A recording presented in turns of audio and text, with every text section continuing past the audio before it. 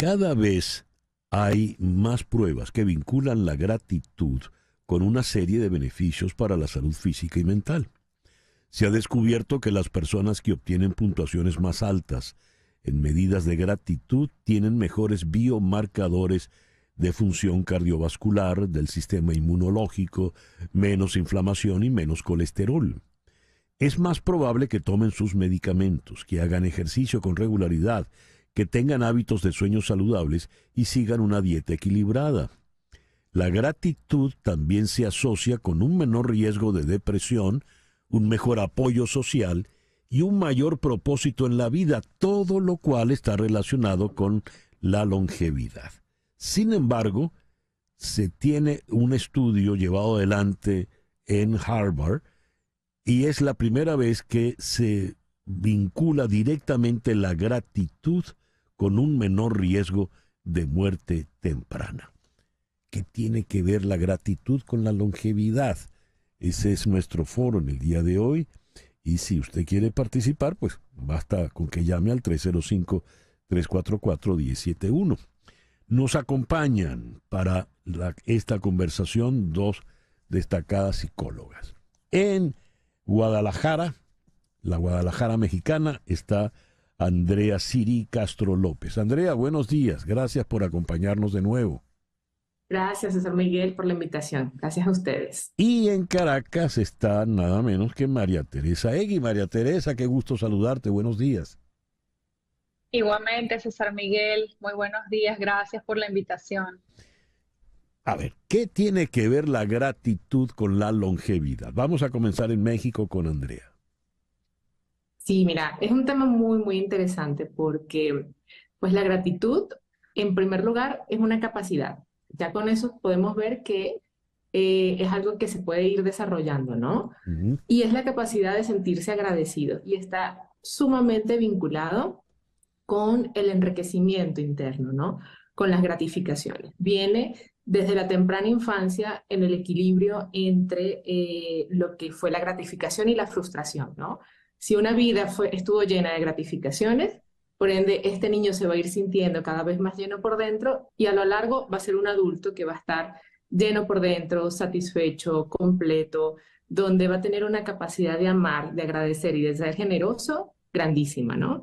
Y esto a su vez pues va a llevar a un estilo de vida mucho más agradable, menos estrés, una capacidad de tolerar sobre todo mucho más la frustración porque la frustración es uno de los elementos que genera muchísimo más estrés, que va deteriorando la relación con el medio, que hace que estemos peleados con la vida y que estemos disgustados con la realidad. Entonces, eh, pues nada de eso contribuye a que podamos vivir eh, tranquilos y por mucho tiempo.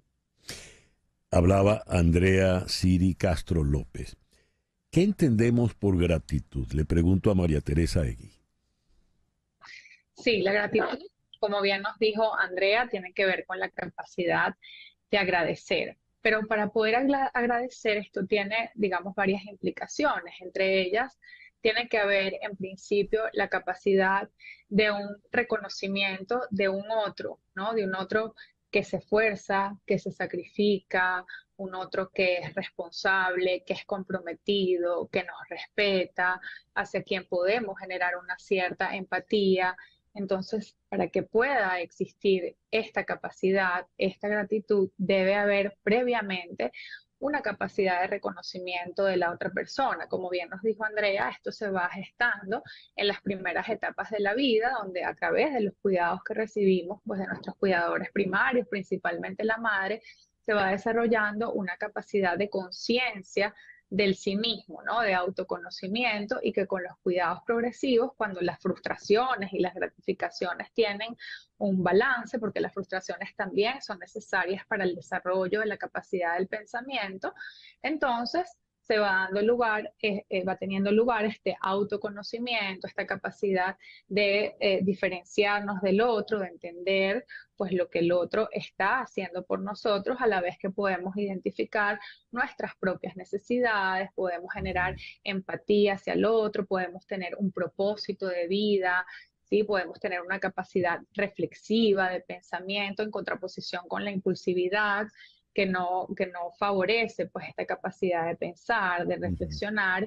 Entonces, como consecuencia, pues vemos que las personas que pueden agradecer, como bien nos decía también Andrea, son aquellas que están en la condición de tener un propósito de vida, de trabajar por un bien común, de favorecer al otro. No solamente gratitud es ser agradecido, es también tener la conciencia de que en la medida que yo hago un bien para los demás también me estoy ayudando a mí mismo, es el querer generar, digamos, aportes para la sociedad, cultivar relaciones sanas en donde nosotros siempre vamos a proporcionar algo positivo en ese vínculo que estamos estableciendo hablaba María Teresa Egui. Escribe eh, nuestra oyente Chere Ramos Graterol. Mami nos enseñó que es del bien nacido el ser agradecido. Si esto es así, ¿qué es una persona no agradecida? Le pregunto a Andrea. Fíjate, em, una persona no agradecida es una persona en la que muy probablemente triunfan un, par de sentimientos que se contraponen en total a la gratitud, que son la envidia y el odio. Mm. Em, en la medida en que una persona envidia, pero una envidia excesiva, ¿no? Estamos hablando, incluso en algún momento cuando estudiábamos en la especialidad, hablamos de una envidia maligna metastásica. A ese nivel de envidia podríamos hablar. Suena, eso suena feo. Envidia maligna metastásica. Dios. Sí, tremenda, una envidia tremenda. Eh, ahí es cuando no hay capacidad para agradecer, cuando no, cuando triunfan los sentimientos de disgusto hacia el otro, de odio, de rencor, de poca tolerancia a la realidad, cuando triunfan en la vida de una persona o en la vida de un niño sentimientos como la frustración continua, pues no se puede desarrollar esta capacidad. Por eso se dice que es una capacidad. Eh, en la medida en que se puedan hacer los duelos de la vida, se puede ir desarrollando la capacidad de gratificar. Pero si triunfa la envidia y además se alimenta y no se hace uno responsable de esa envidia, pues ahí la capacidad de gratificación va a estar totalmente truncada. Nos llama eh, Leopoldo en Miami. Leopoldo, buenos días. Leopoldo, no tengo a Leopoldo. Buenos días. Buenos días. Eh, ¿Tienes una pregunta, Leopoldo? ¿Quieres intervenir? Sí, quería hacer una pregunta. No, ¿existen rutinas para disparar el hábito de agradecer? Ajá, qué buena pregunta. Eh, ¿quién, quién nos, ¿Para quién se la formula? O yo se la voy a pasar a, a María Teresa Egui. ¿Existen rutinas para aprender a agradecer? Bueno. Gracias, eh, Leopoldo. Una rutina,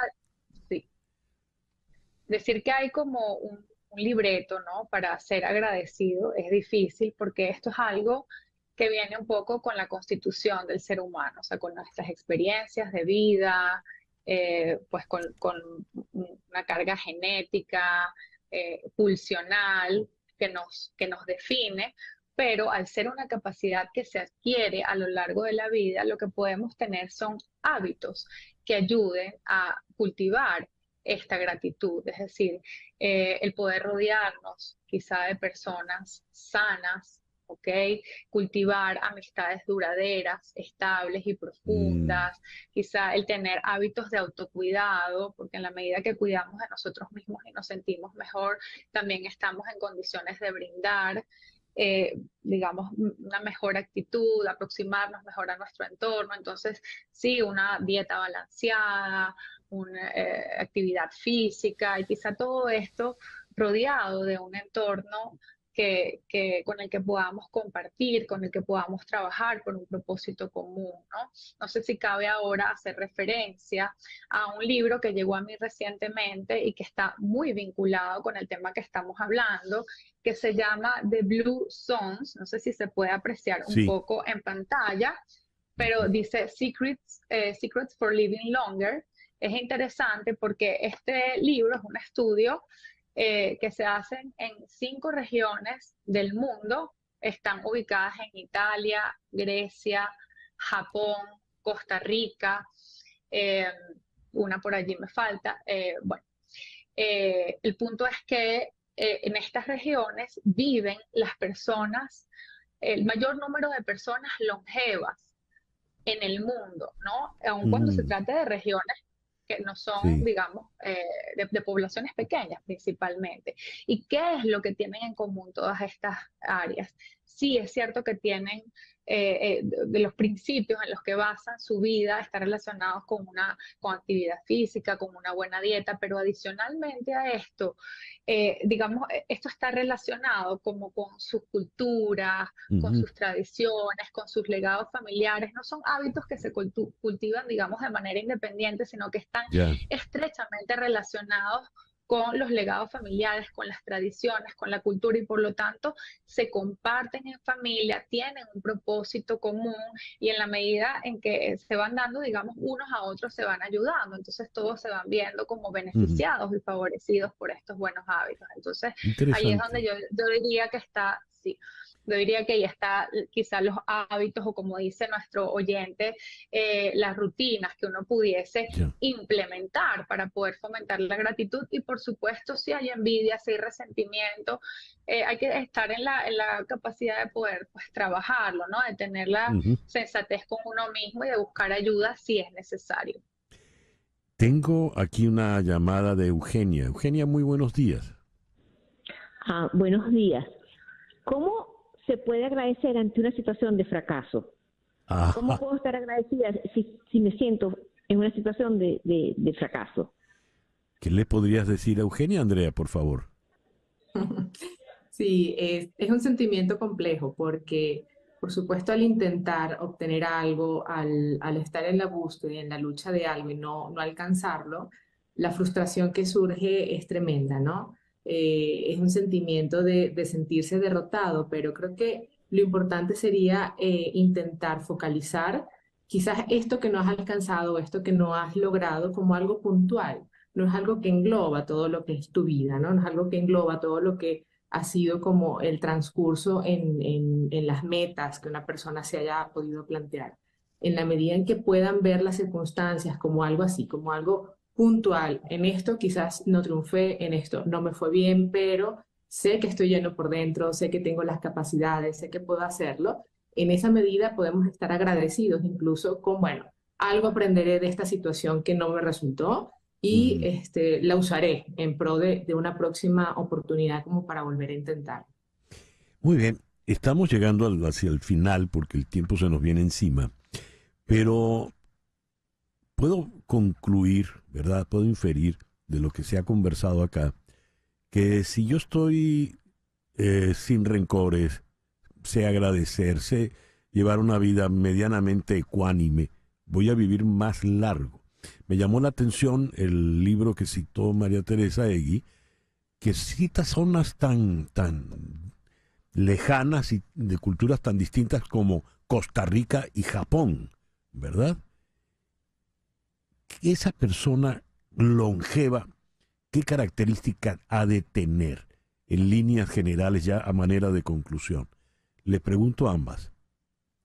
Comenzamos contigo, María Teresa, por favor. Breve, porque ya estamos ya por cerrar, sí. Sí, bueno, somos, somos seres biopsicosociales, por lo tanto hay un componente biológico genético que no podemos evitar. Eh, también hay un componente pues, social, que es el entorno del que nos rodeamos, y otro que son las experiencias de vida que tenemos. Todo eso sin duda va a influir, pero en la, en la medida que podemos cultivar emociones sanas, vínculos sanos, probablemente reducimos nuestro estrés, estamos, eh, digamos, en relaciones menos conflictivas, nos sentimos más a gusto con nosotros mismos e inevitablemente eso se va a traducir en, una mejor calidad de vida y posiblemente pues en una mayor, en un mayor tiempo de vida. Ya. Y ya para concluir, Andrea, por favor. Sí, bueno, pues todo lo que comenta María Teresa agregaría también la generosidad. En la medida en que podemos ser generosos, eh, eso va a producir como un sistema de retroalimentación y a su vez vamos a estar eh, en gratitud también con los demás, ¿no? Eh, por algo se dice que, que amor saca amor, ¿no? En la medida en que podemos ir dando, nos vamos a ir enriqueciendo nosotros y por lo tanto la gratitud va a crecer también y en consecuencia vamos a vivir mucho tiempo más. Muy bien. Y vivir sanos y felices, ¿no? Que es la idea. Muy Muchísimas gracias a Andrea Siri Castro López en Guadalajara. Gracias, Andrea. Gracias. Gracias a ti. y a María Teresa Egui en Caracas. Gracias, María Teresa. Muchas gracias, César Miguel. Dos jóvenes y destacadas psicólogas que nos han acompañado en la mañana de hoy y gracias también a los oyentes que se interesaron en, en participar. El reloj indica 10 y 21 minutos de la mañana. Hacemos una pequeña pausa y al regreso vamos a conversar con Delsa Solórzano de la Plataforma Unitaria Democrática en Caracas cuando restan ya días, muy pocos, para la fecha electoral. Esto es en conexión por éxito 107.1 FM en Miami.